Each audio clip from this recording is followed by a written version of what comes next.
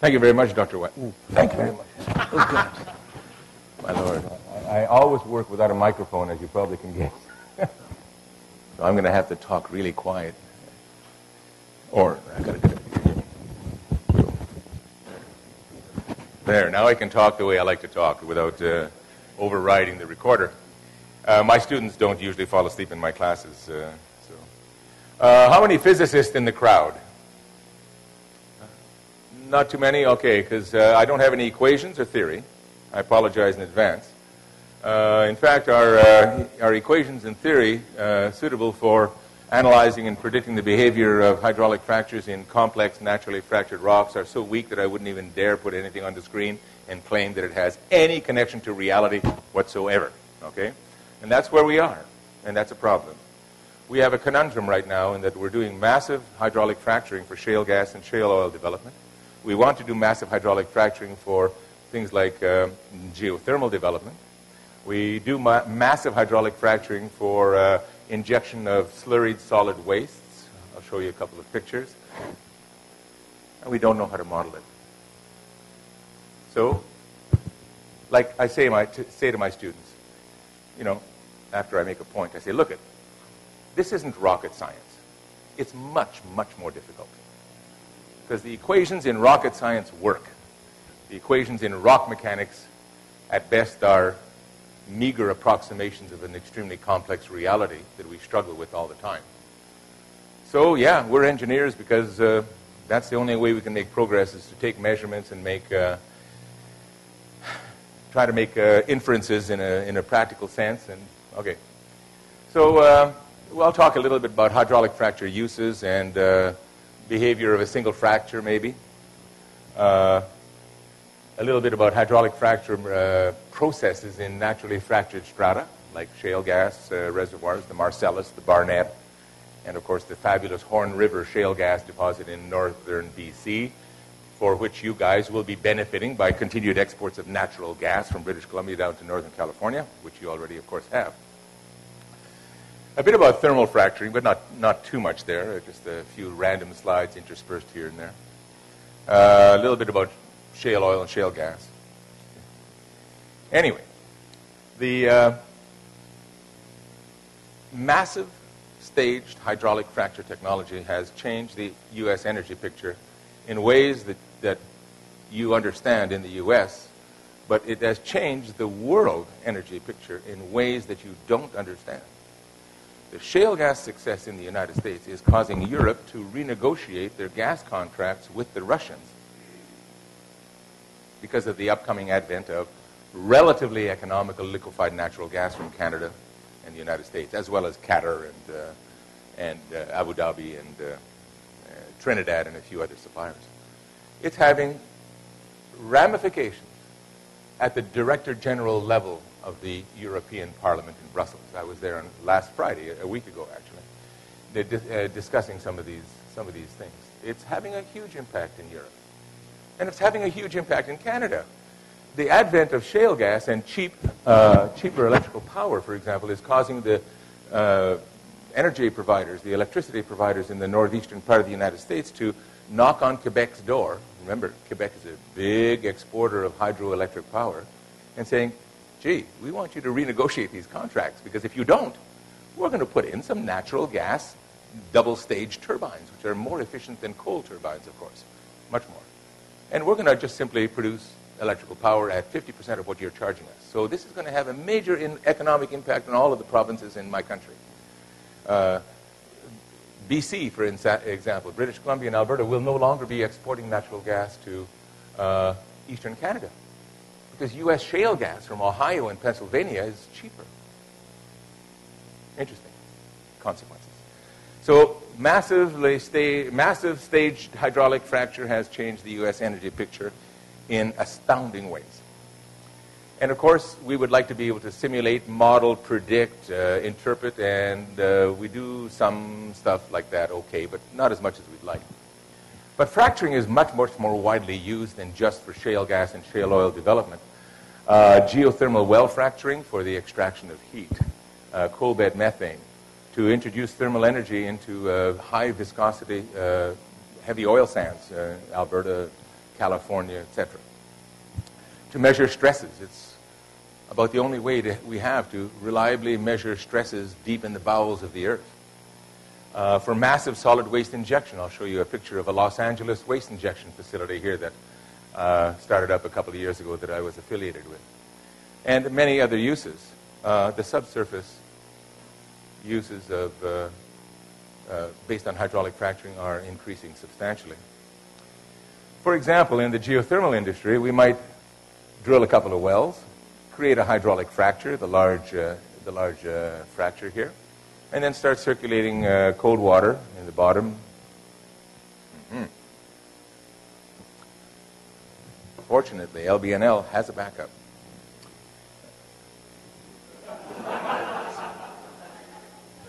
he was listening, you know, and, and when I said something like that, he cursed me. That's, that's for sure. Boy. Well, maybe I'm just not pressing hard enough. I have to sharpen my thumb a little bit here. So anyway, here's my uh, mother fracture, if you wish. And then I start circulating uh, uh, cold water in. The cold water is going in at, you know, 25, 30 degrees Celsius, and the hot water is coming out at 300, 320 degrees Celsius in hot, dry rock cases. Well, if we do a little elastic calculation, we'll see that the stresses are dropping by 200 megapascals. So that the rock is actually thrown into a state of tension. And then we start getting additional fractures being generated. Trust me, simulation of this process is challenging. But it happens. That was first demonstrated in Los Alamos Hot Dry Rock Project uh, back about 25 years ago, and it's still not widely appreciated. Of course, if we're changing the stresses here by hundreds of megapascals, that's tens of thousands of psi, we're generating huge amounts of microseismicity. The Hot Dry Rock Geothermal Project in Basel, Switzerland was shut down a few years ago after four and a half days of cold water injection because the level of microseismicity was an order of magnitude larger than they had predicted. A $100 million experiment shut down and shut down to this day. So these are not trivial issues, these hydraulic fractures and thermal effects. Uh, and of course, uh, we would like to get this energy down, uh, out. But right now, apparently, the largest barrier to getting out geothermal energy is the induced seismicity associated with massive cooling. And I worked on the geysers project when Unocal had it and can tell you some interesting things about it. Never had permission to publish it, but Anyway, in hydraulic fracture, we have some uh, social issues. It's become a bit of a hot button, and the blogosphere is rife with sites that, that are really critical of hydraulic fracturing. And they have made a mistake. It's not hydraulic fracturing that's dangerous. It's not hydraulic fracturing that's going to have a major impact on the groundwater in the surface. It's surface operations, like a chemical truck driver smoking funny cigarettes. That's a real risk hydraulic fracturing is not really a risk.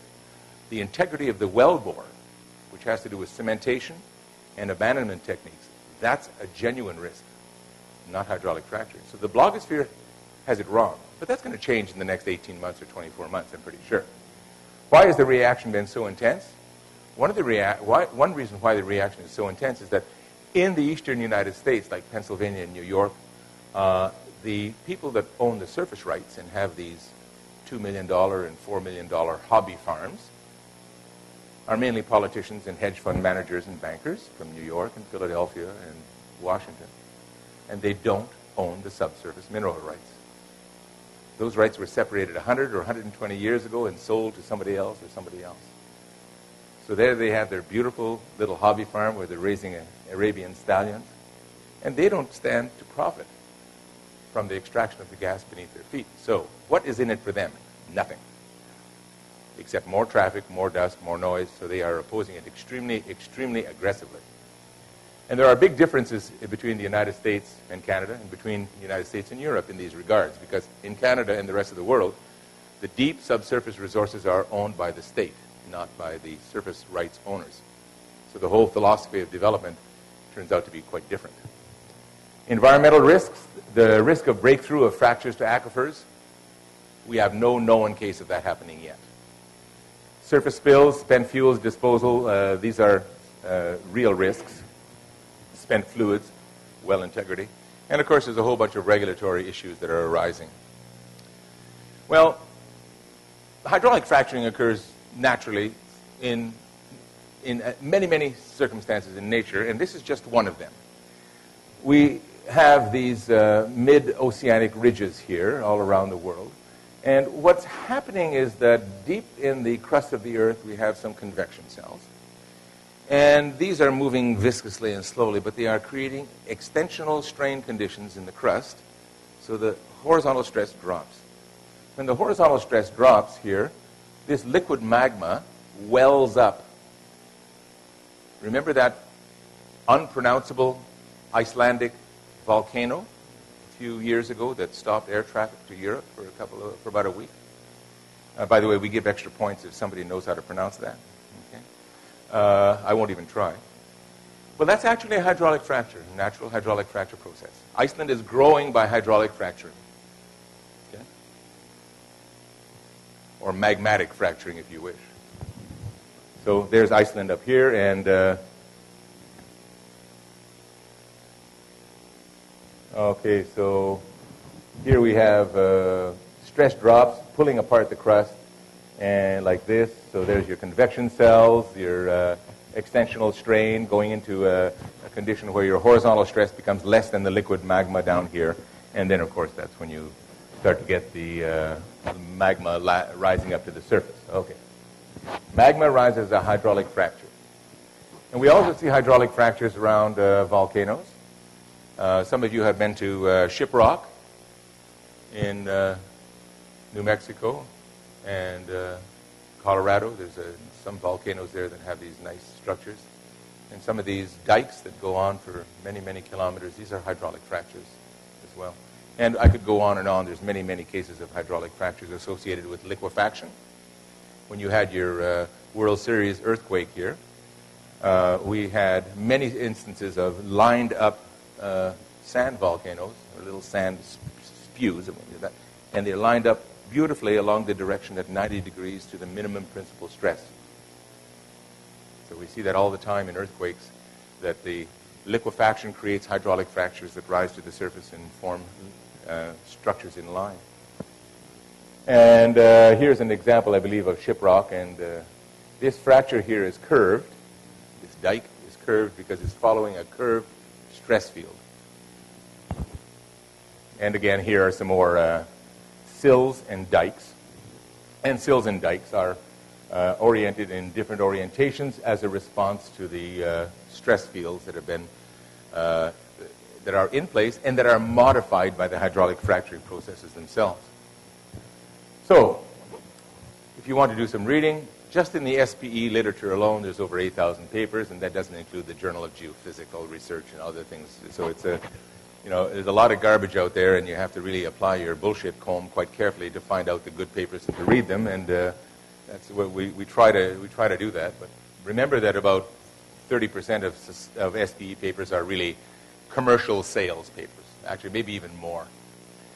And another factor with SPE papers, as opposed to, say, JGR papers, is that uh, SPE papers are generally sunshine stories. You never see a paper written by a petroleum engineer working for ExxonMobil that says, how I made a couple of bad decisions and lost the company $45 million. You never see that, okay? You only see sunshine stories. How I spent 45 million and you know, the sun was shining and the wind was blowing gently through my hair. And uh, it's, some of these papers are just, you know, you just grit your teeth. But nevertheless, some of them contain tremendous information as well. So we do design. So this is a mathematical model of a half fracture. The black line is the expected stress regime in the ground. And I need that to do fracture simulation. And once I do fracture simulation, I'm going to back up the trucks and start doing something. And then I'm going to take some measurements about the pressures uh, of injection and the rates of injection and try to use that information uh, as well to understand what's going on to help me design my next fractures, etc. There's a huge amount of empiricism involved. So we make a bunch of conventional assumptions in order to develop a model. And these conventional assumptions, we all know that many of them are not very robust, but we have to make them anyway because our tools are weak. Our tools are weak. We very often assume that a fracture propagates as a single planar surface through a solid material. And you might say, well, that's kind of ridiculous because the materials in which you're hydraulically fracturing are invariably porous. Yeah, that's true. We ignore the porosity. We actually do a solid mechanics model. And then you say, well, what about the water? Yeah, well, we get, a, uh, we get rid of the water by what we call a leak-off coefficient. Oh, what's the value of the leak-off coefficient? Well, you know, might be this, might be that, you know. So it's very, very empirical. Don't be uh, snowed by somebody who comes up and presents all these hydraulic fracture equations to you and think that, you know, this is actually reality. It is a ill, uh, pardon me, a weak representation of reality. We assume that the material has an intrinsic resistance to fracture, a fracture toughness. So uh, if you take a, a, piece of paper, if you wouldn't mind, uh, I can, uh, I can uh, convince you that this material has an inherent fracture toughness. I can't rip it. I can't rip it, but if I put a little wee starter fracture in, whoops, whoops, there, okay. God, experiments always go awry when you don't at least expect it. Thanks. You can keep the experimental apparatus if you wish. It's, uh... So, uh, fractures are affected by natural flaws. I tried to put a natural flaw in there in fracture and it didn't quite work, but fractures are affected by natural flaws. In fact, many of our rock masses that we fracture in, the fractures themselves, the natural fractures, have no intrinsic cohesion. So they don't have a, a fracture toughness. Those of you in fracture mechanics know that part of fracture toughness is an implicit tensile resistance. How do we cope with that? The far field stresses are assumed to be spatio- spatiotemporally constant. Well, that's not true because if you open up a crack, it has to affect the stress field and maybe quite appreciably. Uh, a single approximately symmetric fracture is uh, created. That's not true we have many, many cases of fractures being three times longer in one arm than the other arm, depending upon the local stress fields and the stress gradients. But these are what we do for modeling. For example, if we're going to be doing hydraulic fracturing here near a salt dome in the Gulf Coast, we find that because of the, the uh, geology of uh, the tectonic emplacement of that salt dome, we find that the uh, radial stress is the principal stress down here and the tangential stress is actually very low near the salt dome because the salt dome has pushed out and pulled apart that rock. So if I start fracturing, say, in this well, my fracture starts by shooting towards the salt dome. And when it hits the salt dome, it can't turn an angle because this stress is higher than that stress. So then it goes and starts propagating back in the other direction. Nobody simulates that. But we measure it. We know it's true So there's all kinds of examples where we uh, know things are, uh, are, are modeled in one way, but the reality is different. Local stress fields and stress gradients are critical to the propagation of hydraulic fractures, as well as the fabric of the rock, the presence of joints and planes of weakness. So what do we do? Well, we behave as uh, responsible engineers. Uh, we recognize that models are simplifications, like my model of, of women unfortunately, always seems to be a little bit too simple. You may not believe this, but I swear it's true. In our second year of marriage, I bought my wife a steam iron for her birthday. Okay? So my model obviously is not sufficiently sophisticated. Well, our models of hydraulic fracture are similar. They're not sophisticated enough, but we don't know how to make them sophisticated enough. We learn more about stresses in geomechanics. We take a lot of measurements. We do a lot of calibration. That's what we do we try to design on an expected behavior uh, that, that our model tells us, but we have to keep our eyes open. We have to be vigilant about unexpected behavior because of the, uh, uh, of the uncertainty about the validity of all of our assumptions. And of course, that's what engineering is about. It's about doing things even though we might not be able to write down all the governing equations. So, just a few uh, little comments here. Uh, this is what you would like. By the way, these diagrams only show half of the fracture, okay? Uh, in theory, about, pardon me, there's another half here.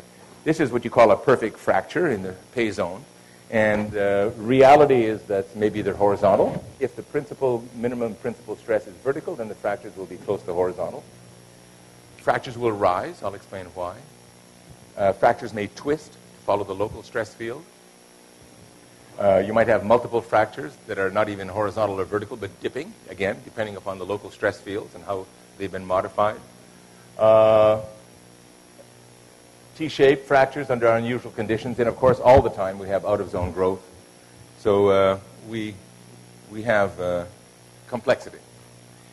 So in situ stresses are the major control. At that propagating fracture tip, the fracture tip is always sampling the local stress field, and it will tend to propagate at 90 degrees to the least principal stress, and that's just simply first year physics. It's the principle of work minimization. Now, if it encounters a planar feature that is weaker, the fracture has to make a decision. Does it continue propagating in its own plane, or does it actually change the direction of propagation? So the fracture, being fairly smart, will do a calculation as to the work rate and propagate in the direction that minimizes the work rate. Would it, would it, wouldn't it be nice if we were so smart as to be able to do that in our models? So they propagate normal to sigma 3. Uh, local fracture propagation, however, may differ substantially. Joints, fractures, faults, and other discontinuities, especially in dense rocks like shale gas and shale oil and igneous rocks, are so weak that fractures will tend to propagate locally. And of course, the fracture itself may also uh, uh, induce changes by virtue of its displacement and maybe by virtue of the fact that we are fracturing with, say, steam at 310 degrees Celsius in the case of heavy oil development. Or maybe, maybe we're fracturing with liquid nitrogen, which is also something that we do more and more of uh, in uh, petroleum engineering uh, well stimulation. Uh, liquid nitrogen has certain advantages. And it also cools the rock by quite a bit, of course. And this changes the stresses massively. All right, so temperature effects, etc. So this, this is what we see in a single fracture propagating in a material with strong fabric. We see that locally, the fabric dominates the propagation direction. But globally, because of the necessity to minimize overall work, the fracture propagates at 90 degrees to sigma 3. So if I drill down and try to sample this fracture by drilling, by coring it, I'll see an orientation of that fracture locally that is not the orientation of the fracture globally. And this, of course, is a classic problem of scale. Once the scale of the fabric is much, much smaller than the scale of the fracture length, essentially, at that point, the fracture propagates normal to sigma 3. So our models assume that. Uh, we have, uh, I'll skip a few slides here. Sure, why not? Just move on to explain why fractures rise. The lateral stress gradient in, in the Earth is generally in this range, about uh, 17 to 23 kilopascals per meter. In American units, that's on the order of 0.7 to maybe uh, uh, 1 uh, psi per foot.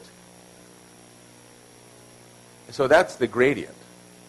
Now, in a column of a fracturing fluid, like water, the gradient is much less. The gradient, if I convert that to American units, is about 0.5, maybe 0.55 psi per foot.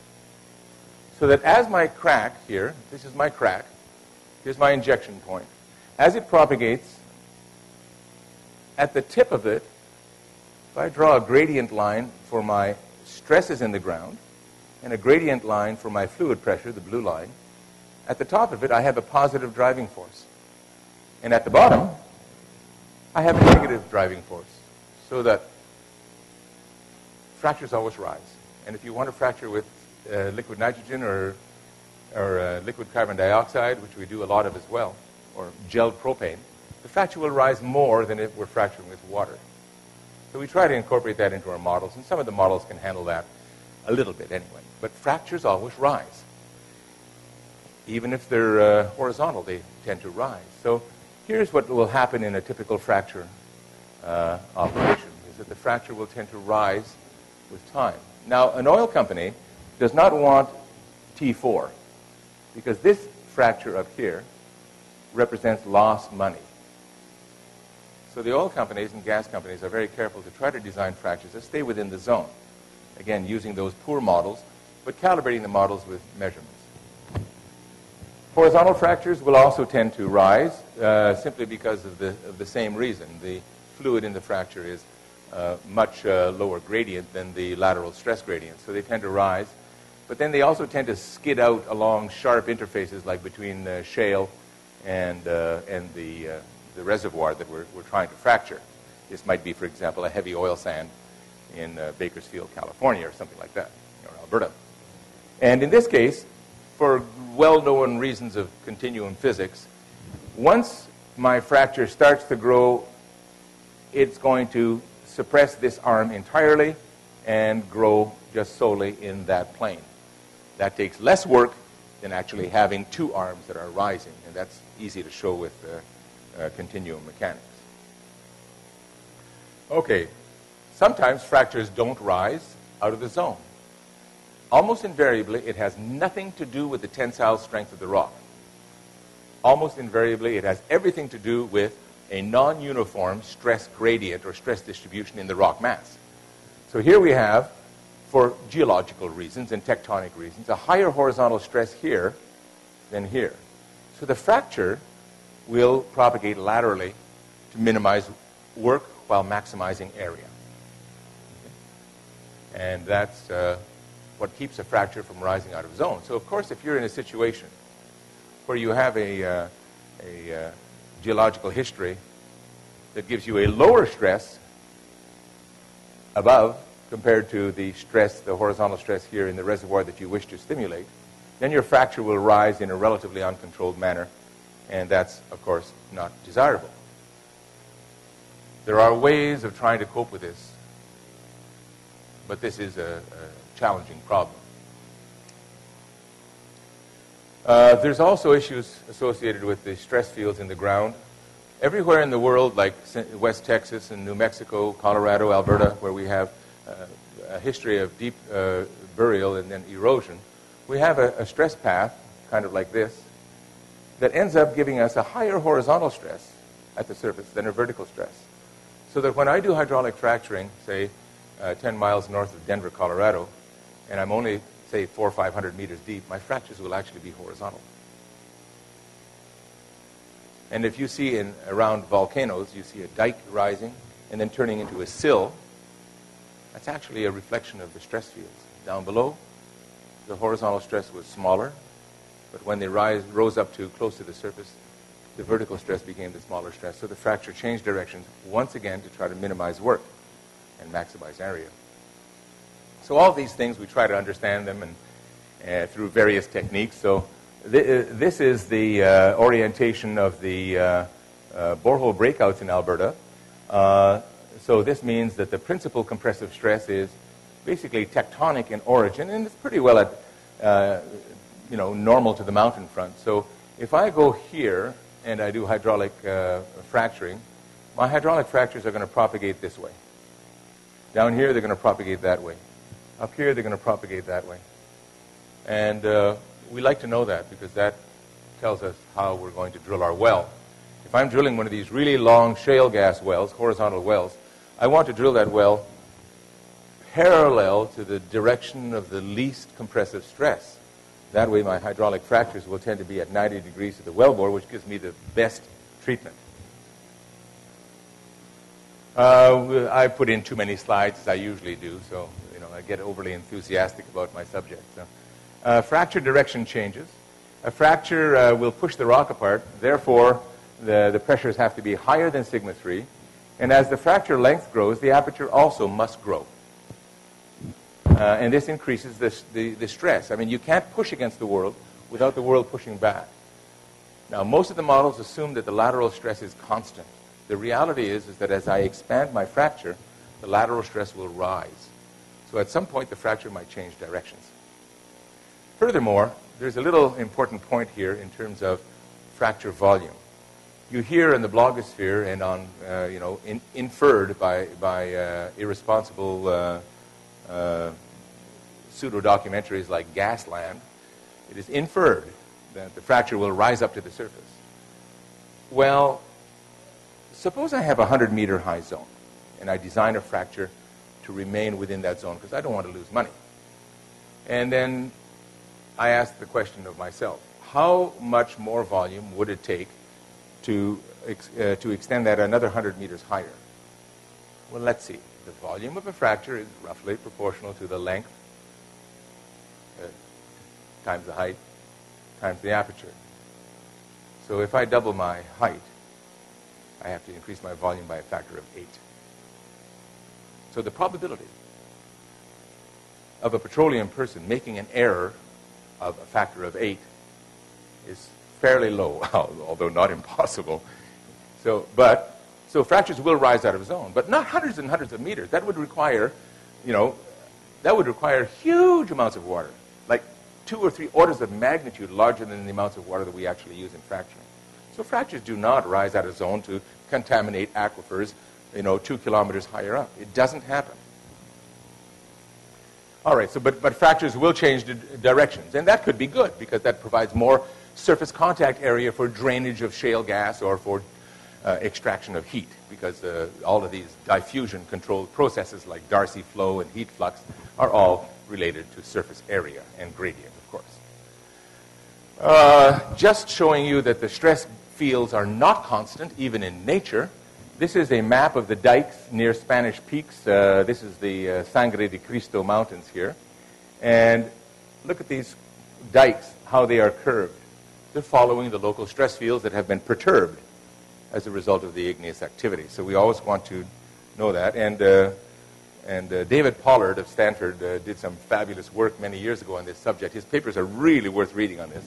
He did a very simple mathematical finite element simulation, and by gosh, his uh, little vectors here are, are just so beautifully lined up that you think that he fudged it. Well, he did calibrate it, but he didn't fudge it. Okay, okay so uh, we'll move on. Now here's the big problem with shale gas and shale oil is how do we cope with uh, naturally fractured strata? You can see here that uh, we have bedding planes and natural fractures, and we have uh, features at uh, all scales and all sizes. One of the larger natural fractures uh, in the world, of course, is ju- just, just over there. It's called the San Andreas Fault, and it's a natural shear fracture that is many thousands of kilometers long, all the way down to micro cracks that are on the order of microns. So we have discontinuities at all scales, all, all, and all relevant engineering scales in the crust of the Earth and in natural rocks, and coping with these are uh, challenging. And of course, we generate models. So here's just a brief list, uh, StimFrac, FracMan, GOHFER, Frac Pro, etc. These are uh, just a very brief list. The list is, could be three times as long of commercial, uh, commercial uh, software. And this is a typical commercial software simulation. Here's the stress that they deduced by some poor measurements. Here is the width profiles from the mathematical model. And here is the extension of the fracture laterally from the mathematical model. So that kind of model is used widely. And then we try to collect some data to calibrate the model to make it more practically useful in real circumstances. Okay, for shale gas and shale oil, basically what we're doing is we're drilling a long horizontal well here on the order of two to three kilometers long. And we're doing this multi-stage fracturing along the axis of the well, generally 15 to 20 stages. So each stage is maybe 100, 150 meters away from the previous stage. And we work from the toe to the heel and try to create as much surface area as we can, so we take very aggressive actions. Looked, uh, looked at a little bit differently. And I have deliberately drawn these uh, zones here uh, uh, of fracture uh, stimulation, not as a single plane, but as a zone. Because we are so aggressive with our injection that we actually open up additional fractures through two processes, wedging and shear, which I'll now kind of describe. So we actually do not create a single fracture. We actually open up a fracture network. Some of these are filled with sand to prop them open, but other, others are self-propping. We do this with horizontal wells. I just put this in to show you that, you know, horizontal wells are not old. This is 2002, and the Barnett Shale, this is the Barnett Shale development uh, with uh, vertical wells uh, and horizontal wells. So you can see it's all vertical wells until about 2002, and now by 2009, 100% horizontal wells. We don't drill vertical wells for shale oil or shale gas anymore, anywhere, ever. And here's some developments, uh, technical developments like microseismic monitoring, which uh, we're still working very hard on to try to understand what it's telling us. Uh, the first use was back in about 1995.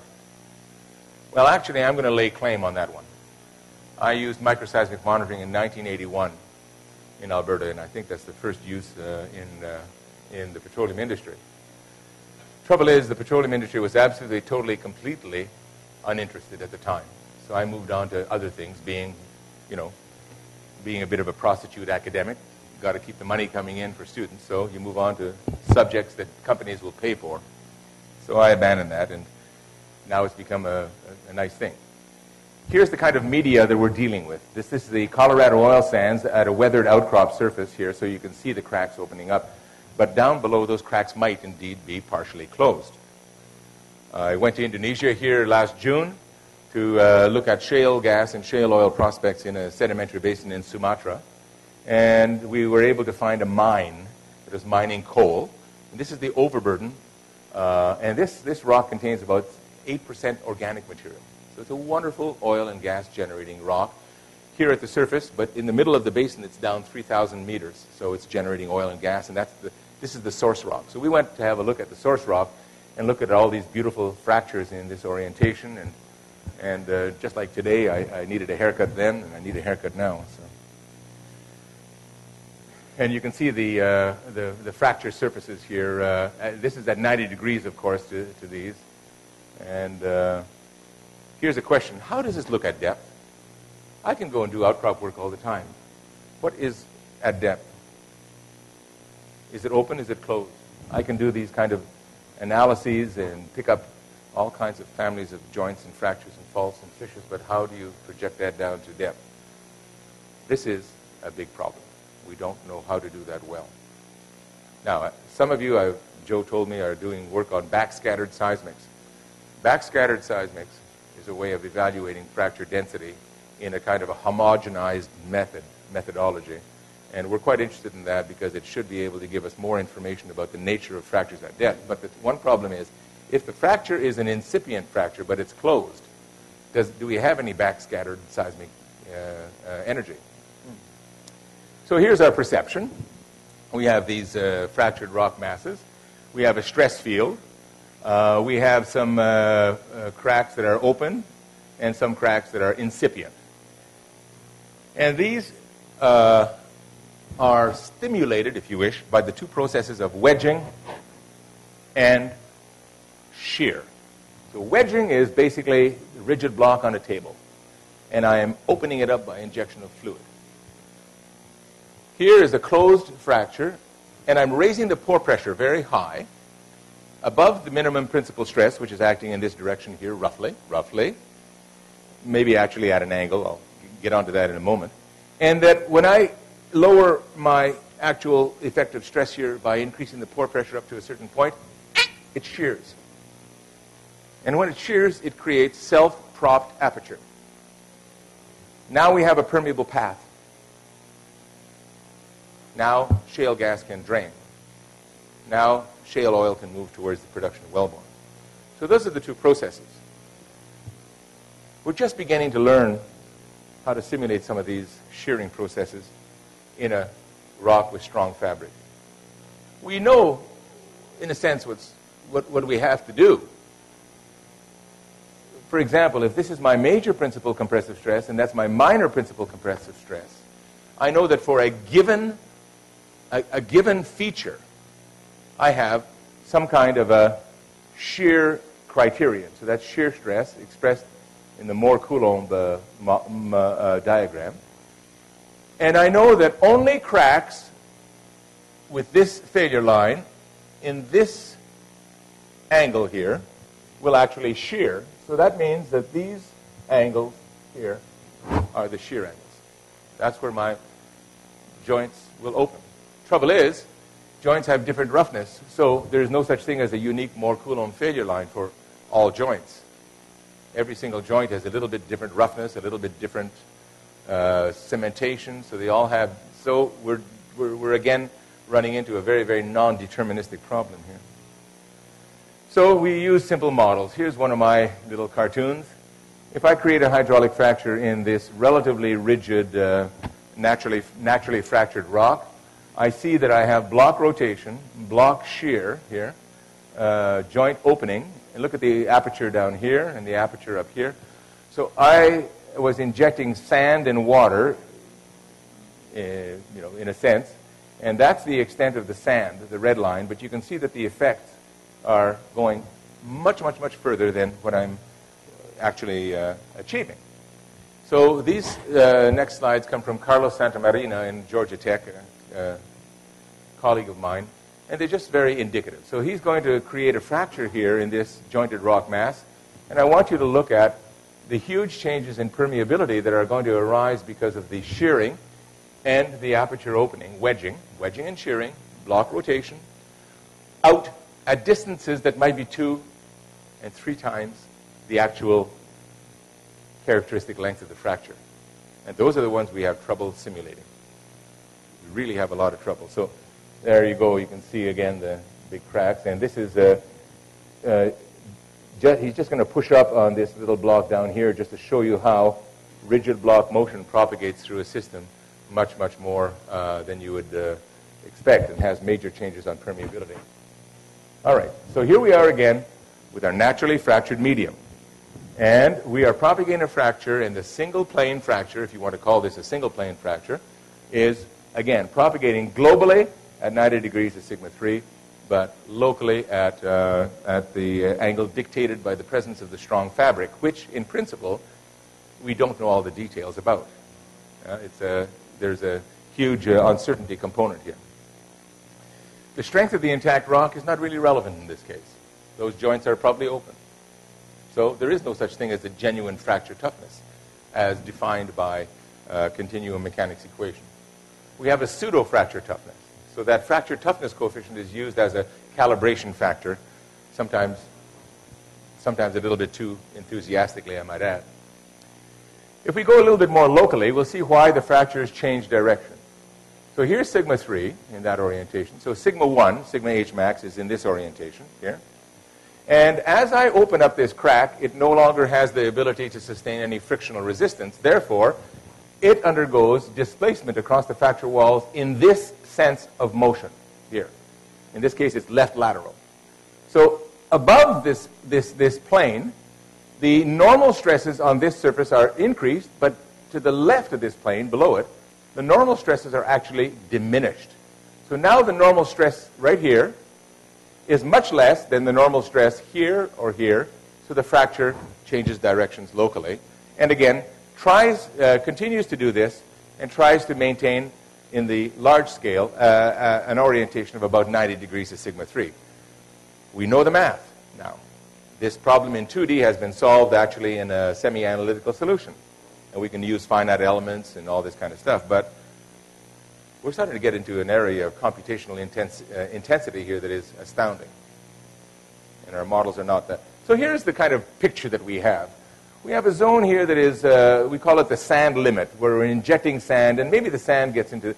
but the pore water pressure propagates very, very efficiently.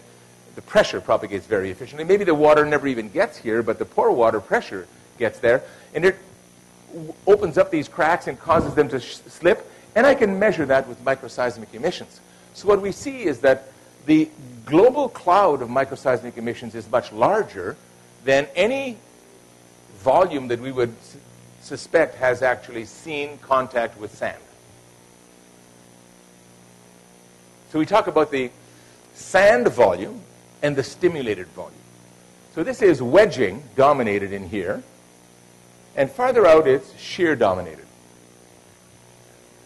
And again, just a little picture, uh, uh, again, showing you the sand in here, and these little red arrows indicating the directions of shear that I would expect in that stress field. All right, so we can measure the microseismic uh, events. This is courtesy of Craig uh, Cipolla, who uh, now works for Hess in Houston.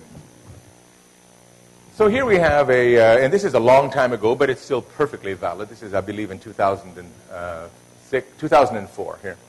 So here's my horizontal well, and I have six zones open for, uh, by perforations. And there are two monitoring wells here, observation wells, with a geophone array, so we can pick up the uh, extent and location of the microseismic events. So we're going to do several different things. We start off with a gel frac, and then we start out, then we do something else, and then we end up with 12 hours here of injection of uh, something we call slick water. Slick water is just ordinary everyday tap water to which you have added a small fraction of a polyacrylamide. And this reduces the friction of the water as it passes through a very narrow aperture crack. So it allows us to inject farther out at greater volumes with a given pressure. Slick water fracturing is essentially about 10 years old, and it has also been one of the elements of the shale gas revolution. So let's look at the microseismic emissions from the first cross-linked gel fracture. And you see that here's the wellbore right here. It's very relatively close by. Uh, and you can see all the location of the microseismic emissions. And I told you earlier that fractures tend to rise, except where the stress conditions say they shouldn't, which is rare. But here's a case where the fractures actually tended to go down rather than go up. Local stress conditions are important. So for the next stage of stimulation, the uh, gray one, uh, a very short stage, it stayed locally. But look at what happened in the slick water stage. Wow. We're going out I mean, this is 500 feet. We're now getting stimulation out here 225 meters away, 200 meters away. This is good news. And furthermore, that fracture is not rising up to the surface. That fracture is propagating laterally. And the reason for that, of course, is that the horizontal stress here is probably higher in the cap rock than it is in the reservoir. So this is the Barnett Shale in, in uh, near Dallas, Fort Worth, in Texas. All right. So in order to try to improve our models, we're, uh, we're starting an experiment. Uh, Joe, uh, Dr. Wang here knows a little bit about it. I sent him some stuff. One of the problems with hydraulic fracture uh, modeling is that we never get a chance to really uh, rip apart the ground and see what the fracture did.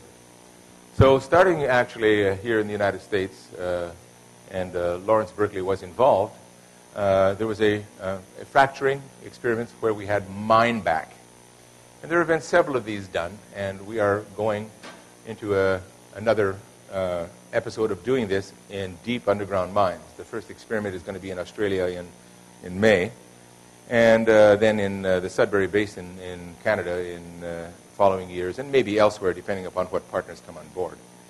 And this is funded partly, about 50% by the mining industry and 50% by the petroleum industry, with, uh, with uh, uh, matched contributions coming from provincial and federal governments in Canada. So we have actually six goals. To better characterize the rock mass, because when you do hydraulic fracturing, as I showed you, you generate microseismic emissions. Now, for you seismologists, these are distributed source functions. So you can collect the wave trains coming to you from these source functions and do a tomographic inversion and get a lot, lot more detailed information about the structure of the rock mass. So that's one reason we're doing this, to try to develop that technology. Second, to see if it's possible to relieve the stress on critically stressed features. A critically st- stressed feature in a mine, if it suddenly releases its energy, it's called a, a, a fault slip, or more locally, a strain burst, and it kills people. And we want to be able to understand about them and maybe relieve the stress. So if we inject high pressure fluid, maybe the stresses can be relieved, the shear stresses can be relieved along these features. Goal number three, to trigger caving without blasting. The mine called the uh, Newcrest mine in Cadia, Australia, that we're going to be doing some work in in May, they have developed hydraulic fracturing as a means of bringing down rock in, a, in, a, in an open stope without having to drill holes in dynamite. So they drill holes and use very aggressive fracturing as opposed to uh, blasting. And that turns out to have some advantages in many cases. Number four, rock mass compliance modification. If we can change the stiffness, the modulus of the rock mass, then it's going to respond to the stress field changes differently when we do tunneling and opening. And that, if we do that right, we should be able to reduce risk. Uh, number five, to test hydraulic fracture models in, in, uh, in naturally fractured rocks. Well, it turns out that the stiffness of the shale gas and shale oil strata is not really that different than the stiffness of hard rock, a factor of five, which sounds like a lot, but it's actually not. For example, if you compare it with oil sands, then it would be a factor of 100 or more. But also, igneous rock tends to be impermeable. Well, shale gas strata and shale oil strata also tend to be almost impermeable. So the oil industry, six companies, I think, five, six, including Exxon, uh, have come on board. We have to be a little bit careful with Exxon because Exxon always likes to take over projects. So we're going to have to be uh, pleasant but firm uh, to pursue our science goals as well as the uh, goals of engineering and safety. And this is my, one of my contributions to this, to test out the elasto, the thermoelastic stress management concept. Here's the fault slip concept. We've got a critically stressed feature here, a fault that is close to rupture. So we put in a monitoring borehole. We put in another borehole with packers, and we inject high pressure fluid here to try to create that, uh, to try to make that shear, and by shearing, relieve the magnitude of shear stress under control conditions.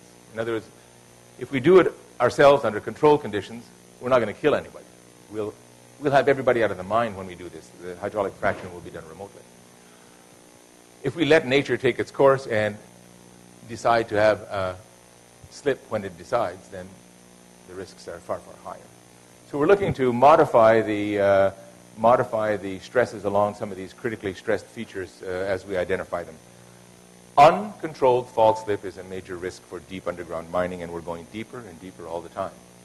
In Canada right now, the mantra is deeper, faster, cheaper, safer. I'm sorry, wrong order. I was corrected about this before. And the mining engineer said, Maurice, safety. Then deeper, faster, and cheaper. So we're going down to three kilometers now, three and a half kilometers, where the stresses are pretty high, and we have to be very concerned about these things. Now, if you take a, a, a, an inclusion like this in a continuum or whatever, you know, in a rock, and you cool it, you get a stress transfer. So here, your compressive stress is lost, and it's transferred away from the inclusion. The same thing happens, of course, in the along this BB axis. We have a loss of the uh, horizontal stress here, and the stress is transferred above and below. And we've known this, of course, in mechanics for generations, and we're using it now in petroleum engineering in some applications on purpose. So we have uh, this cooled inclusion concept, zones of low radial stress and high tangential stress around the inclusion. And of course, if I have a fault or a large planar feature here, I'm going to be reducing the tangential, uh, reducing the uh, normal stress across that fault quite massively, and maybe again doing stress relief as I cool the rock mass. So then, inside of this cooled region, since you can see my stress trajectories here, the stresses are going around the inclusion. In here, I have a much, much lower stress level, compressive stress level in all directions, than I do in the surrounding rock mass. But that's okay because in the surrounding rock mass, it's confined.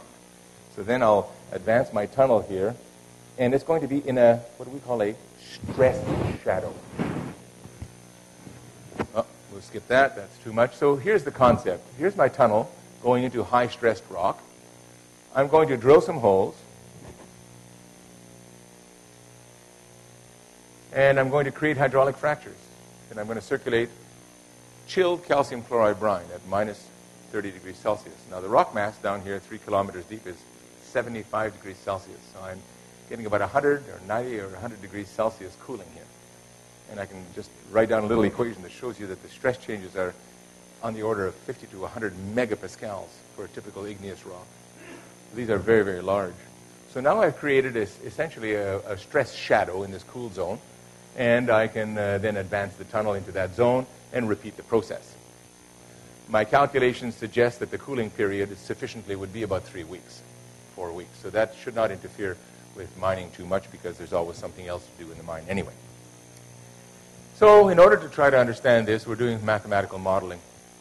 And for those of you that are into mathematical modeling, we're combining finite difference for the uh, diffusive uh, flux with boundary element techniques called displacement discontinuity, well, three kinds, displacement discontinuity and boundary element, which are both types of boundary models, along with a, a continuum model, which is the finite difference model for the flux. And uh, here's the uh, pressure migration in a fractured rock mass. And here are the uh, actual uh, stresses uh, in the, sorry, temperatures in the fractured rock mass. And as you can see, we have uh, uh, cooling, gradually moving its way into the blocks. And of course, the cooling is the greatest where my fracture is. My fracture is right here. And way out here, I'm getting flux, but the cooling is just beginning. Now, that is a very, very strongly coupled problem because the cooling shrinks the rock. The aperture opens. And if you remember Paul Witherspoon, cubic law. So, I'm changing the permeability. I, I, don't, I shouldn't use the word permeability. I'm changing the fracture conductivity literally by orders of magnitude here, by, by thermoelastic cooling in this case. Or if I was putting in hot water, it would be in the opposite direction. I would actually be squeezing those cracks together. But they respond very, very differently in compression than they do in extension. Extremely different. Extremely different. So we're trying to build models to understand that. And that's just uh, one of the models of a student who's defending in about, about six weeks, uh, Mohammed Reza Jalali, a very smart guy. Uh, and here's some of his uh, uh, horizontal effective stress and vertical effective stress calculations for, for that model as well. So, of course, we're doing a very, very regular model, but the one uh, he's working on right now, and uh, hopefully he'll make some progress, uh, is trying to look at the uh, case where we have oriented planar features that are oriented at an angle to the principal stresses. So now we have shear. And he's also formulating an empirical shear dilation coefficient so that if he has, say, two, two millimeters or three millimeters of shear, he adjusts completely empirically, he adjusts the uh, conductivity of that crack uh, in proportion, non-linearly, in proportion to this, uh, to this shear. So here are the directions of movement uh, in this uh, anisotropic stress field these move this way and these move this way, uh, etc. So you can see the little arrows here. And here are the apertures in millimeters from, his, from his calculations. Again, using an empirical link between the aperture and the amount of displacement. And I say empirical because there's no way that we'll ever be able to do this rigorously because all fractures have different roughnesses. So a very rough crack, if I can even succeed in shearing it, will be much more dilatant than a very smooth crack smooth crack. So those are some of the things we're trying to do. Uh, and we, th- we think that this mine stuff has some financial advantages because uh, uh, we can improve our models and then we can mine back. So, for example, if you're an oil company uh, or a service company like Halliburton, you want to test out one of your models, well, fine. Here are the parameters. Make a type 1 prediction. A type 1 prediction is a prediction before the fact. Type 2 prediction is after the fact, or a history match. So make a type 1 prediction, then we're going to do things, and then we're going to mine through and actually see it. And we don't do that in petroleum engineering. So many of our model models are totally unconstrained. Well, not totally, but largely unconstrained. Better understanding of the physics, courtesy of the mine back potential, and ability to test ideas at a cost of about one tenth. Uh, our experiment, which is going to be on the order, our experiments, four or five millions of dollars at this stage, maybe a bit more in the future uh, basically, to do the same experiments uh, in the petroleum industry would be $100 million.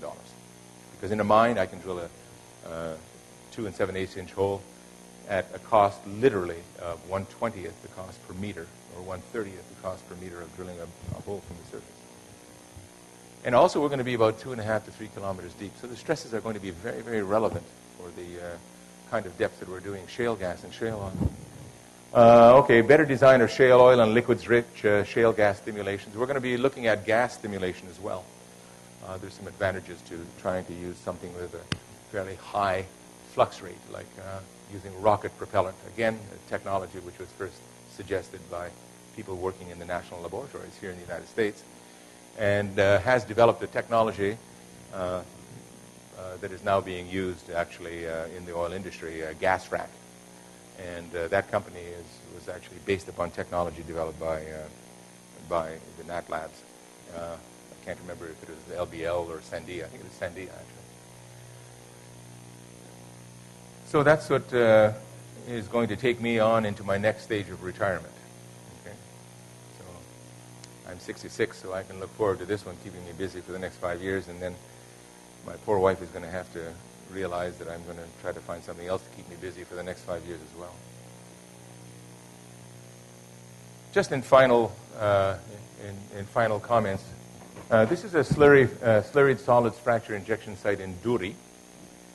Before this was established in 2002, Duri was one of the filthiest oil fields in the world.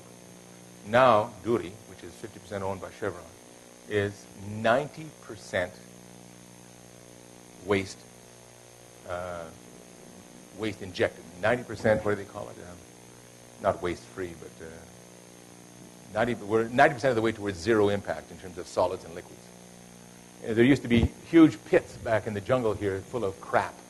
And all that stuff is now is down about 700, 600 meters, courtesy of this injection facility. These are the pumps right here. That's just the sump. And uh, as you can see, they, they put all these nice little stones.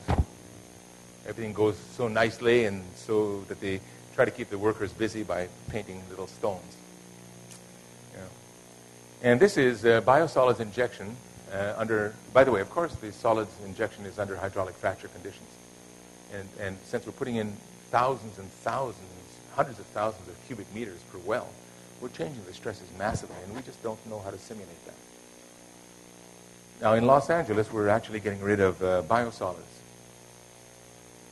the sludges from biosolids. Instead of spreading them on strawberry fields, we uh, are putting them, uh, the city of Los Angeles is putting them through uh, primary and secondary treatment.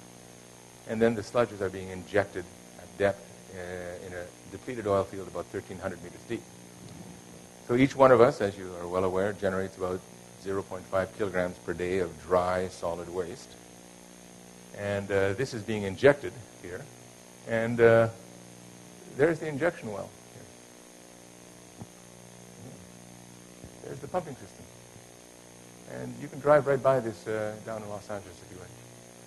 So the company doing this, uh, I used to be affiliated with them, can truthfully say that your ship is my bread and butter. Okay? We use that, of course, naturally. In conclusion, I've taken a 10 minutes more than I should have. Uh, hydraulic fracture use is increasing in many, many applications, uh, waste disposal, geothermal, and, uh, of course, in the oil and gas industry. The stresses and the stress changes that happen during hydraulic fracturing are first order controls. We have to understand them, and these stress changes occur courtesy of the volume changes arising from changes in temperature, changes in pressure, and changes in effective stress. So this is what we call a THM model, thermal, thermo-hydromechanically coupled model. And it uh, keeps graduate students, uh, you know, in a state of stress quite, quite, quite regularly It's a difficult problem to solve. The computational requirements are sometimes just so heavy that we just stick to 2D problems or very simple 3D ones. In general, our models are quite weak, especially in fracturing and naturally fractured rock masses, in fracturing and rock masses with complex stress distributions and complexity in terms of the stiffness parameters and other physical properties.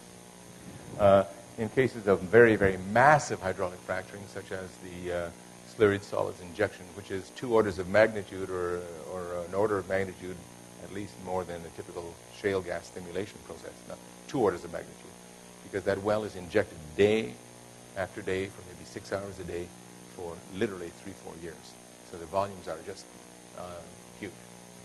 In weak shearing and dilating strata, for example, in things like high porosity unconsolidated sands or stuff like diatomite or your high porosity sands up here or down there rather in Bakersfield where they inject steam under hydraulic fracturing conditions and really don't know much about what happens except that they try to measure uh, a bit.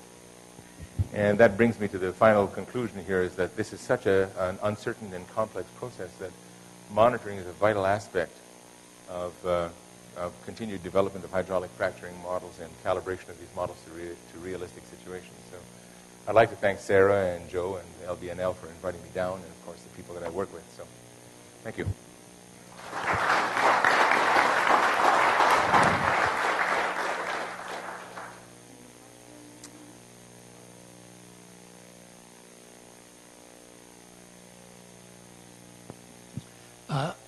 I'd like to understand more about the role of proppant. You use this wedge analogy. Is the proppant um, as much to initially open the fracture as it is to keep it open, or is it just to keep it open? Just to keep it open. We can, we can make a fracture nice and fat just with a high viscosity liquid. the fracture sand is forced into there so that when I stop injecting and the pressure decays, the fracture closes onto the sand and forms a high permeability path.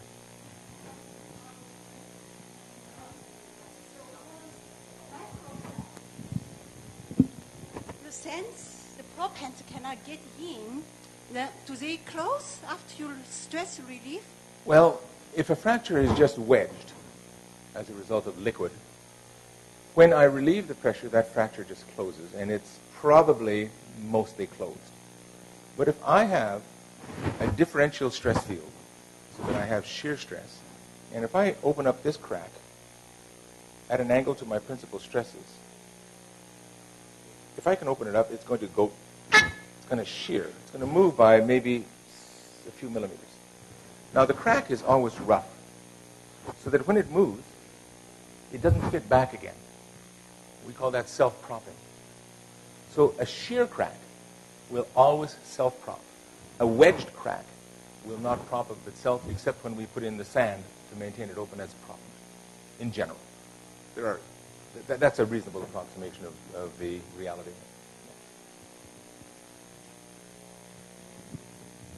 You're going to you're gonna wait a long time. I, I, I was a little put, bit put up two hands. I was a little confused about the advantages of, of hot materials versus cold materials. I Sure. understood you to say that the hot materials actually help close. They'll swell, cause swelling, I guess, and close fractures. But then they're doing steam and hot water injections as well as. oh boy, fluids, uh, that, that's another two-hour talk. okay. No, no, no. Seriously, it's a real, it's a real important issue uh, for, in heavy oil. Uh, we now understand uh, that when you start creating a very, very high temperature inclusion, it changes the stress fields around the, uh, the leading edge of the inclusion so much that we, that we force these dense sands to shear and dilate.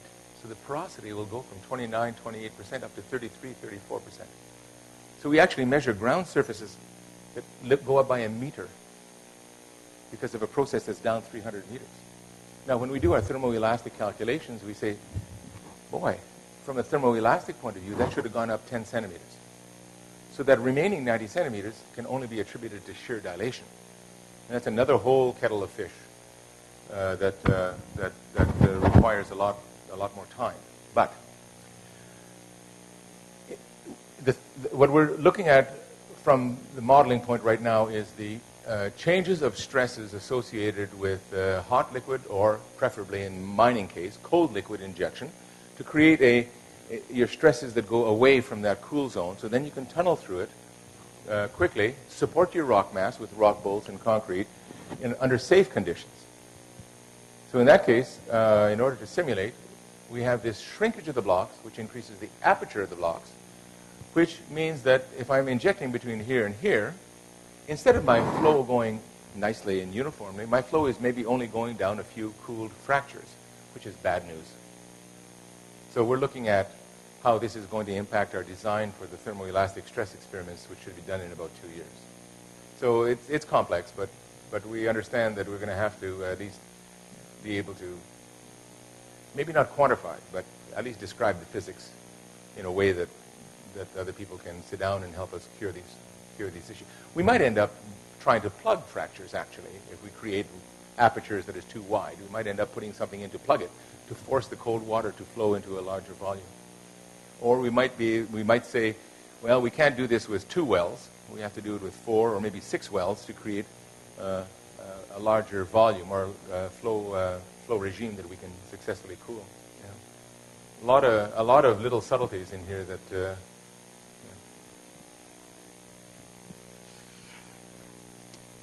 Art McGarr at the U.S. Geological. Survey gave an interesting paper at the AGU meeting um, suggesting that the at least largest magnitude earthquakes is dependent upon the total volume, volume of fluid injected. So maybe it doesn't apply tremendously to fracking for Well- shale gas, but what about these large-scale injections? I mean, well, I'm, I'm talking to a guy here, you know, who uh, probably can bring out a hammer and nails and crucify me pretty quickly if I come into error here in the mechanics side of it. He's uh, got a stellar reputation in this area. Um, we uh, here, here's a typical, you know, uh, I'm a reporter, and here's a an attractive young uh, geophysicist, uh, you know, and uh, the reporter says, you know, uh, Pauline, as a geophysicist, can you guarantee us that your hydraulic fracturing operation will not trigger a much larger earthquake? You know, the straw that breaks the camel's back, Pauline? And Pauline says, well, it's not possible for me to absolutely guarantee that, but, oh, thank you, great interview. And that's what's happening in the media. This is a typical Fox News. I'm sorry, I shouldn't say that. But hey, I am in a blue uh, state, aren't I? So I can say that, all right. I wouldn't say that down in Bakersfield, you know, I'd get crucified. But uh, this is a typical problem that we have, is that the media does not explain the science. Okay? All right, to go back to uh, Art's question. In an unstressed, in an unstressed rock mass, uh, any kind of energy that we put in is essentially the volumetric potential that we're putting in because of the fracture uh, fluid going in. But in a rock mass that is strongly pre-stressed and close to a condition of criticality, there is a non-zero probability. It might be many, many zeros, but it's a non-zero probability that it could trigger a larger seismic event through stress transfer. That has been recognized. For example, the British Geological Survey came out six, eight months ago with their hydraulic fracturing recommendations after a few earthquakes were generated up in uh, northwestern uh, uh, Eng- uh, England by uh, shale gas uh, exploration. And they said Uh, those were unusual conditions, and they injected very close to some faulted features, and we recommend that this should not be done. You should stay away from faults in the future. And I think that that's a, a fair statement. There is a non-zero probability. But as you know, the magnitude of an earthquake that you can generate by hydraulic fracture injection is down in fairly small Richter numbers, unless you have a pre-existing critically stressed feature. It's, it is a little bit sobering to, re, to remember that the second largest earthquake ever recorded in Alberta to this date is still as a result of water injection for water flooding. In Ohio, we have the magnitude 4.2, 4.4 earthquakes generated now, you might say, well, that's hydraulic fracture. Sorry, that's not hydraulic fracture. What they're doing there is disposing of massive, massive volumes of cool water.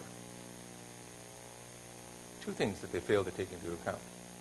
One is that there's also a stress redistribution associated with the cooling, as I tried to convince you here in my slides.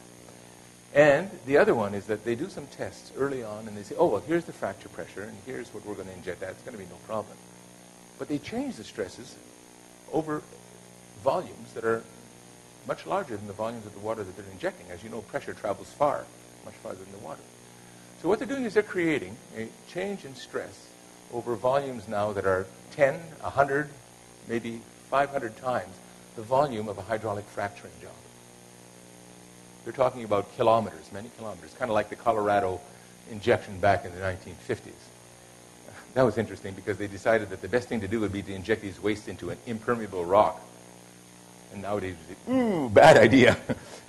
bad idea. That's exactly the way to generate earthquakes, is to inject it into an impermeable rock that doesn't allow the pressures to dissipate. So I know I'm, I'm waffling a, a, little bit here, but uh, essentially the Ohio wells were the result of a very, very large volume that was affected by the pressures. And I, uh, when I heard about these things uh, before the well was shut down here a few weeks ago, I just was gritting my teeth and saying, God damn arrogant engineers again. Why didn't they drill a second well? Why don't they do something? It's not like it's rocket science. Well, I shouldn't use that analogy, but it's not like it's, uh, it's uh, unknown. If you have another injection well 10 kilometers away or 20 kilometers away, well, then you can maybe do these kind of things and allow the pressure to dissipate with time. But maybe not maybe not. I'm also a consultant to the Paradox Valley Saline Water Injection Unit. And as you know, in January, that was shut down because of a 4.4 earthquake. The irony is, is that we filed our report about three days before the earthquake. I won't tell you what we said in the report, but uh, as a scientist, I always reserve the right to change my mind when confronted with the facts.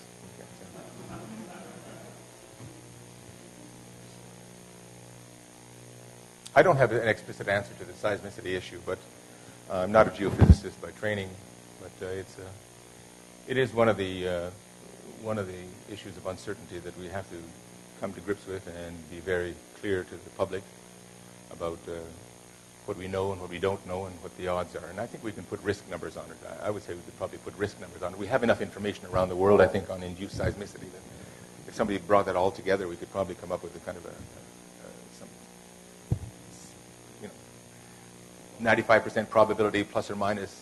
You know, in doing just that. Yeah, me too. Sure. Yeah. Yeah. I, I uh, advised the Alberta government on the uh, Shell Quest project up in Alberta, and uh, they asked me to come up with a bunch of questions for them to ask the, um, the Shell people.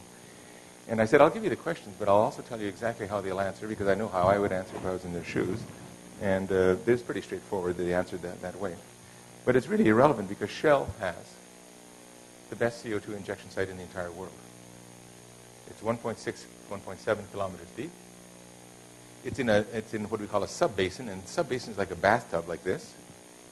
So their formation is actually sealed hundreds of kilometers away in all directions. And they have three regionally continuous salt zones between them and the Cretaceous sediments. So they have so many barriers that lower zones has only been penetrated by three wells within a 100 kilometer radius. So they, you know, they, they, just can't do any better. And sure enough, of course, Shell is still planning to go ahead, of course. And uh, we'll see. The trouble is with Shell is that they want to keep all the data themselves. And this is being paid for 75% by taxpayer money. So we'll see what happens. I hope the data come out so we can all look at it and start applying our models. CO2. Can you talk about a little bit more about CO2 as the fracture fluid? Sure. CO2, uh, when, we, when we were going to be injecting CO2, we're not going to be injecting it at a temperature that is too much different than the temperature of the rock. Maybe 15 degrees Celsius or 20 degrees Celsius different than the rock temperature. So first of all, thermoelastic stress changes are going to be relatively small. When I'm talking about steam, we're talking about 300 degrees Celsius delta T. When we're talking about cooling in a rock mass, a very, very stiff rock mass, we're talking about minus 100 delta T. But shell is going to be about 15. So that's, that's not an issue. The viscosity of the CO2 is about 120th the viscosity of water at the same conditions. So that means the pressure buildup is going to be far, far less than you would expect. So the pressure bulb will be relatively flat and will propagate great distances. Great distances. So you're not going to get a large delta P like you get with hydraulic fracturing. Uh, in fact, they're not even going to go up to 70% of the overburden. They're going to stay below 70% of the overburden. That's very conservative. There's a lot of injection projects going on here in the United States and Canada where the companies are allowed to inject up to 85% of the overburden. So they're going to be pressure controlled. So the delta P is going to be falling off according to a standard, you know, fall, flow law. And it's going to be very, very regionally extensive. Yes, many, many kilometers. The third point is that the stratum is relatively limited in height. And the reason I say that is that there's another factor in CO2 is that it's buoyant. CO2 uh, at those conditions has a density of about 0.66. And the saline water at those uh, depths near the salt uh, strata has a density of about 1.2. So uh, that's a big difference in, in uh, the, the, the, density. So that would give you a lot of buoyancy to the CO2. So you can imagine if you had a very, very high column of CO2, like say 500 meters uh, high, well, 500 meters times G times 1.2 minus 0.65 gives you a huge pressure at the top of that column. But their reservoir is only about 30 meters high. So the buoyancy effect from the low density of the CO2 is not going to have a great big effect. So, you know, when you parse as much as possible what they're going to do, it, it looks like their risks are vanishingly small uh, with respect. Oh, also, there are no known faults, no tectonics, no history of any ground movements, no high differential stresses in that region whatsoever. So it's like I said, an ideal, an ideal, an ideal situation. You probably would not so enthusiastically approve of uh, large CO2 injection projects in reservoirs close to active faults, like in the Los Angeles basin? Probably not. Much, much more, much, much more delicate situation, shall we say, and much higher population density, other things. Yeah. So we think it's safe, but Regarding for CO2 injection, we, we do have some different sites right ongoing or completed. So um, in terms of the delta T, is uh, 50, per, uh, 50 degree or 70 degree. So do you have a big effect in near the injection well for this uh, Sure. If you, if you have a delta T of 70, uh, then, then basically it's, what, what's happening, of course, is that the heat is being carried in convectively, and it's heating up the mineral. Now, the, uh, if it's CO2, the specific heat of CO2 is, uh, what is it, one-third or one-quarter the specific heat of uh, water? Uh, Is that correct? Something like that. Uh, CO2 is much, much lower specific heat. So it's going to give up all that heat to the near rock environment. Okay? So that the CO2 will move this far out, but the temperature zone will only move that far out, but the pressure zone will move, you know, way over there. So it now becomes a matter of scale. How big is the delta T zone with respect to the rock mass and the structures in which you're injecting it? So now what you have to do is some mathematical, com- numerical computations. Or instead of doing numerical computations, start out with a simple, you know, uh, uh, inclusion, thermal in- inclusion uh, type of a model, which gives you a first order approximation, which is, you know, then tells you what you should do in, in mathematical modeling. I, I think the one problem is the injectivity. Can this kind of effect increase the injectivity? Absolutely, if you're cooling. Cooling, definitely cooling. If you're heating, no. Yeah. For example, for at the Cranfield in Texas, the in situ uh, uh, temperature is 126. Sure, and you're going to be But, injecting at, So the, the temperature is about 70 degree. You see, the, and you can be very sure that your, that your rock mass down there is naturally fractured. Uh, but the- but the, the right? other So the fractures are going to open. yeah, but on the other side, the sandstone is kind of unconsolidated. Ah, oh, do, do okay. any? In that case, that, in that case, that, then that's a good point. Uh, we, we find, in the petroleum industry, we find that the stress, I'm sorry, I don't mean to use the royal word we. I tend to identify myself with the petroleum industry, but I do other things, so I apologize if I say we. Uh, in the petroleum industry, we've done a lot of work, sorry, the petroleum industry has done a lot of work on uh, unconsolidated high porosity sandstones and the effects of stress. And we generally find that over the range of engineering stresses that we would expect, the change in permeability is only about 15 to 20 percent. But in a fractured rock mass, like igneous rock or shale gas, the change in the bulk permeability, if you will, or the fracture conductivity is two or three orders of magnitude because of the thermoelastic effect on fracture aperture. So it really depends the nature of the rock mass that you're putting it into. Now, there's another thing to be a little bit worried about. Suppose that your cap rock is a naturally fractured rock. It- you know, you're injecting into your unconsolidated sandstone, but your cap rock is a naturally fractured rock. You're cooling things down. That cool is going to propagate conductively into your cap rock. Are the fractures going to dilate? If so, you might build up fairly rapid convective heat transfer through these thermal conduction cells. Cool the cap rock, lower its horizontal stress until you get to the point of hydraulic fracture. I can show you the calculations. She's quite right. Hydraulic fracture can occur in CO2 uh, operations. We just have to figure out the, the physics and come up with a, a, a way of evaluating the risk of these things. And it might cause us to change the kind of nature of the reservoir that we wish to, that we wish to put uh, CO2 into. Like I say, the Shell Quest project in Alberta with three separate salt zones. I, I, I could not, I couldn't, I couldn't design a better repository. They just have, because salt, even if you cool it down, it, it, it, it doesn't, it's not going to crack, it's going to flow. It's going to undergo creep and redistribute the stresses. So it's a wonderful material.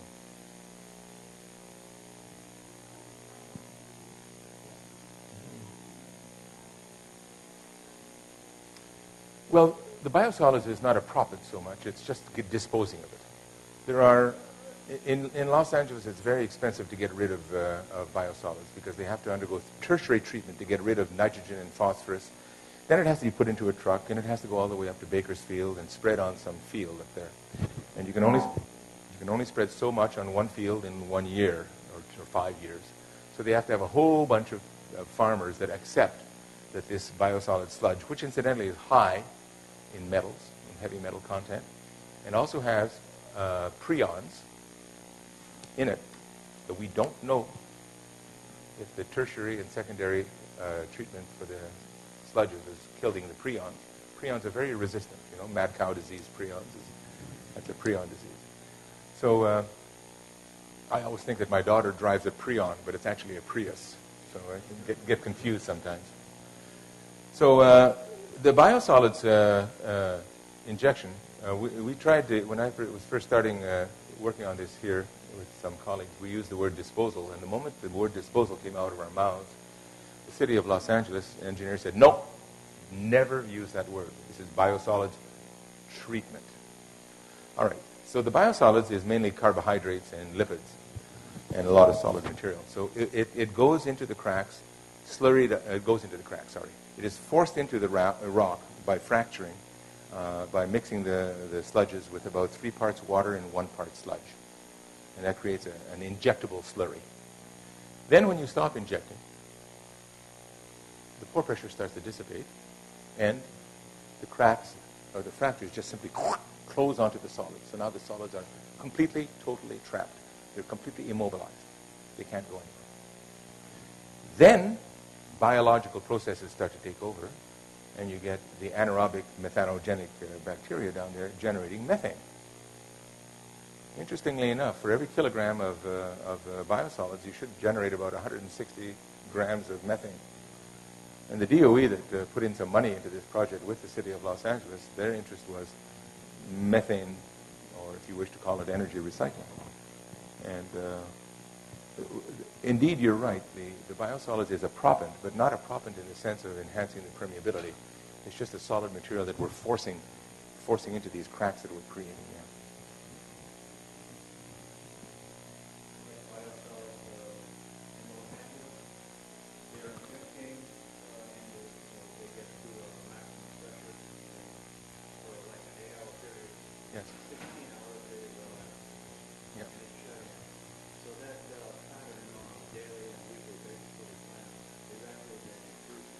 Yes, of course, because you're pressurizing and reducing the changing the permeability of a larger and larger volume. Yes, indeed. We see that on all kinds of waste injection projects, indeed. Yeah.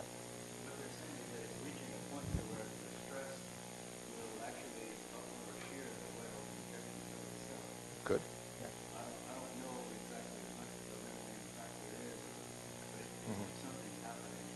Yeah. On all of the injection projects everywhere in the world, we see the same kind of trend.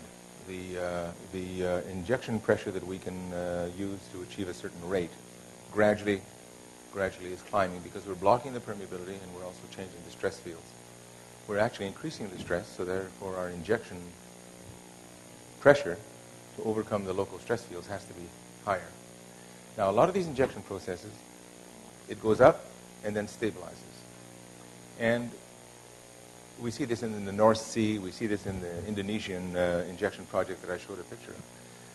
Uh, then it starts to becoming. Then it starts to come down to: Are the cap rocks and the surrounding rocks leaking off the pressures adequately uh, at a sufficient rate for us to uh, continue injection without impairing the security of the cap rock? And that requires some careful measurements and study. And I haven't been affiliated with the Los Angeles project uh, in the last four, five years, uh, last three years. So I can't comment on that. But I do know that in the Indonesian projects and some of the other waste injection projects, the company that does the injection and the oil company sit down and work out some kind of a protocol. Uh, they sit down and decide how long they're going to, uh, sorry, uh, uh, until what level they're going to inject, and then they say, all right, that well is done. We're going to use it as a monitoring well, but we're not going to inject any more, and we're going to drill another well. So in Indonesia, uh, the amounts that have been injected per well have been on the order of 2 million barrels of slurry, of which maybe 0.1, 0.2 million barrels has been solids. And then they move on to another well. So I think they're on their seventh well now. So they've been going for 14, 13 years, 14 years.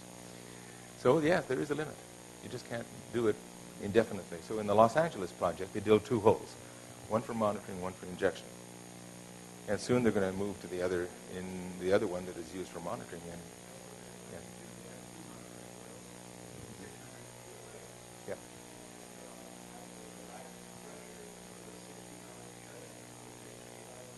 Injection period.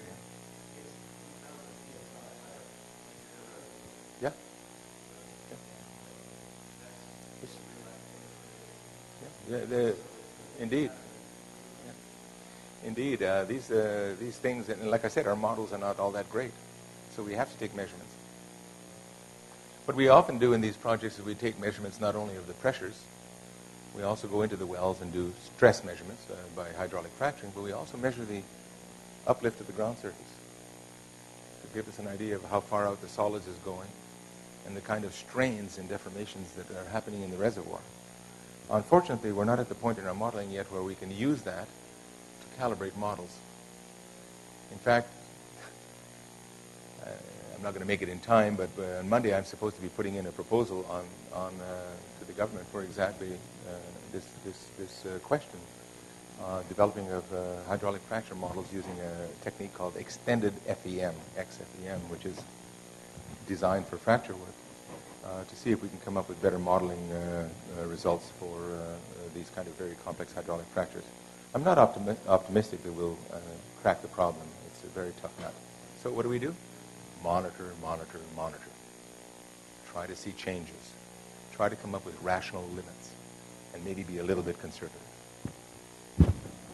That's all we can do.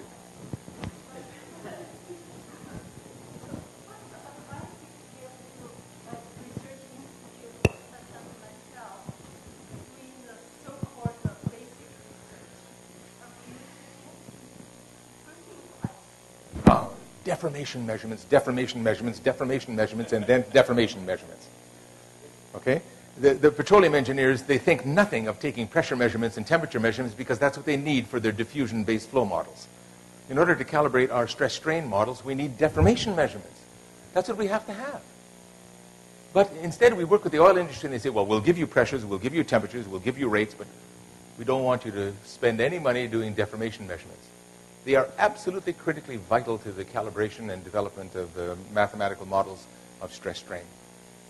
So, tilt, which was you know largely developed originally in the USGS here in uh, California uh, to monitor this uh, little uh, little linear feature out here on the other side of the bay. Uh, deformation measurements using uh, fiber optics gauges, which are sensitive, and we're putting them into the mines right now in, in Ontario, by the way. We have about three of them installed. These are uh, precise to about one in, well, the, the company claims one in 100,000, but uh, they're actually more like one in 15 or one in 20,000 uh, parts, which is still enough to do good strain measurements in linear elastic rock. Uh, uh, tilt, tilt. Uh, we can measure the, the tilt very, very precisely so that we, if we measure the tilt in a number of areas, we can constrain what's going on in deformation. That's really important. If we're going to inject, you know, 200,000 cubic meters of poop or sand, we'd like to know where it goes. And the only way we can do that is through deformation measurements and inversion. That's okay. Inversion models. Right now, a lot of our modeling is what we call forward optimization. We do a complex model and we fiddle around and do a complex model and fiddle around. I think that there's a lot of scope for combination of, uh, of uh, forward finite element models or forward continuum mechanics models combined with some form of more rapid inversion. Because this process of doing parametric analysis or doing uh, uh, inversion with a finite element model is, just hopeless. Uh, it's just hopeless. It takes so, so much time. So that in the mathematical areas, there's a lot of developments that can be done. And I believe most of these uh, developments will be joining together different techniques. Like we join uh, boundary element models together with, with finite difference models in order to simulate these fractures. And we couldn't do it with one or the other. We have to have both. So we try to take the strengths. So I think the deformation or stress strain models with some better inversion uh, models coupled together might be a, a direction to go.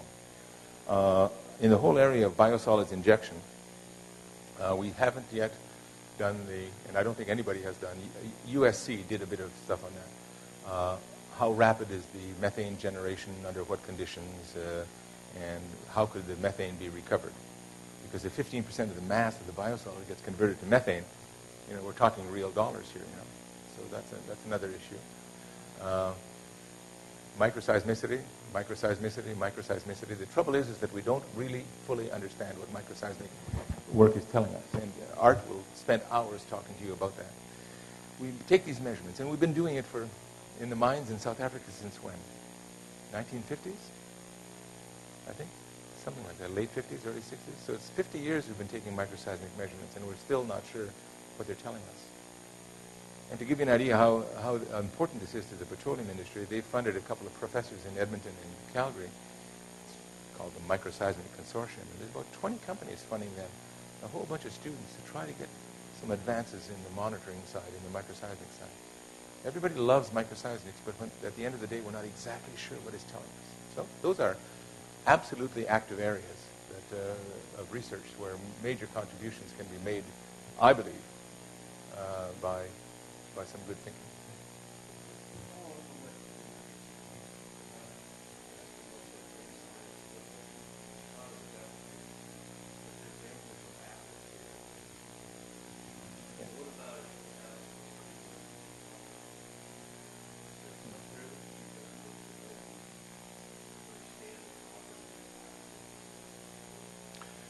Sure. Uh, for example, I was exposed to a person who, uh, yesterday, who was considered by many to be out in left field, far left field, who has demonstrated that when you stress a, an igneous rock, you actually, can you actually generate a current and a voltage field that can be sampled. So let's take that in the inverse mode. If I can sample a voltage change and uh, current flow in a project like hydraulic fracturing, in some remote system of electrodes, can I back calculate that to determine the stress change on that rock mass? That's a very interesting question to me. Just demonstrating that you can generate a voltage by stressing a rock to me is, as an engineer, is, oh yeah, that's cool. You know, but the, the inverse would be very interesting. And I'll, I'll actually make another comment here. Even though companies like, or agencies like Sandia and, uh, and, uh, and, and Lawrence Berkeley have put in a lot of money into an investment into the monitoring of electro, electromagnetic EM type monitoring of various types, magnetotelluric, uh, uh, uh, resistivity tomography, these kind of things. These methods are really, really underutilized in North America. They really are. There's a huge potential for developing these kind of techniques to give us more information about what's going on down below. And they're not being used uh, so much uh, for that. Uh, again, if you are taking deformation measurements with satellites, for example, uh, INSAR, or even aerial photography, uh, inversion models to take this kind of deformation field at the surface and tell us what's going on three kilometers deep where we're injecting. Uh, we do that right now with tilt meters, but as you know, tilt meters are very expensive, and the technology is owned by Halliburton, so it's even more expensive. You know. Dick, Dick Cheney, you know, the Dick Cheney law? Anyway. Dick Cheney law said Halliburton gets 10% more than any other, any other company, right? Yeah. So yeah, the electromagnetic uh, field is a good one, I think, to, uh, to focus on because there's a lot of potential there for these, these types of projects.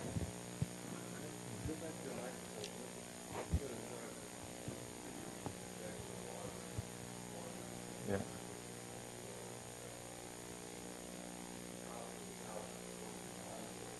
By strain, displacement, yeah.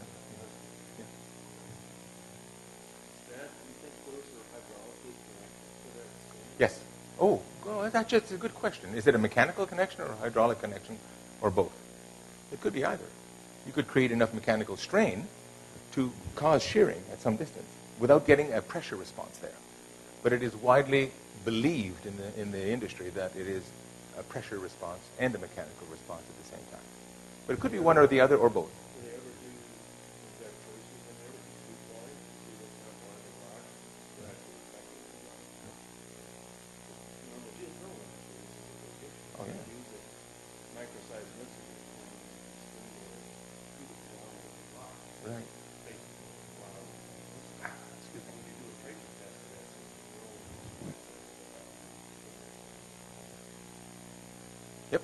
I, agree. That's right. Yeah, yeah. But your your observation, in the general sense, is quite correct.